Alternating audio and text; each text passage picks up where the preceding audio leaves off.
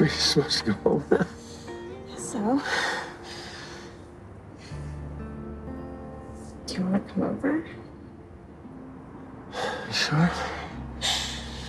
Pretty sure. Pretty sure.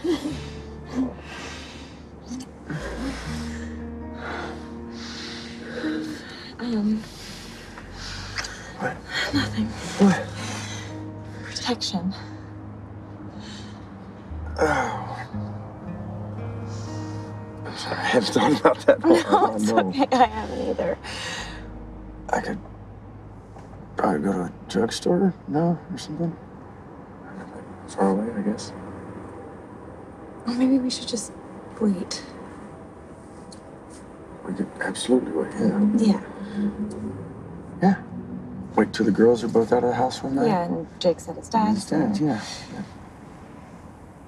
That'd be better. Yeah, that'd be better, right? Don't you think? Yeah. Okay. Good. Yeah, uh, they're back in Atlanta first week of June, but we should be able to work out something in New York after that. Bucky, I told you nothing after May. Come on, let's do this.